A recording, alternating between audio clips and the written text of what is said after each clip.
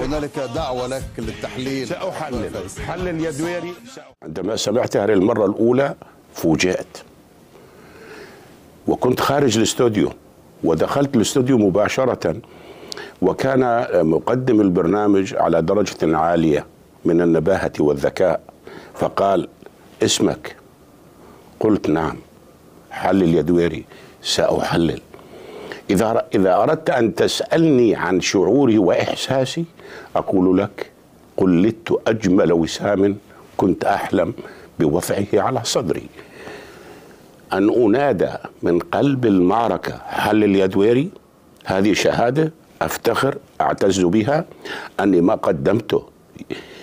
يتماشى مع الحدث وإن كان لا يرقى إلى مستواه. عندما أشاهد هذا العمل البطولي أتحرك وجدانيا أنفعل. تتغير قسمات وجهي تتغير نبرة صوتي رغم أنفي. أدخل وأنا مصمم على الحياد المطلق. لكن الحياد المطلق نعم حافظت عليه في تفصيل توصيف الواقع. عندما كنت أحلل عن أي معركة كنت أحلل بمنتهى الحياد.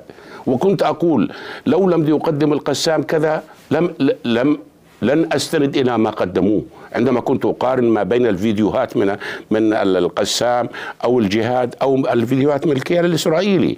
كنت أعلق والبعض كان يعتبر أنني متحيز. لا أنا كنت أوصف الواقع. بس عندما أشاهد بالأمس فيديو تم تدمير خمسة دبابات بخمسة قذائف. نعم هذا مدعاة فخر. وإذا لم أشعر بالفخر فأنا تخليت عن عروبتي.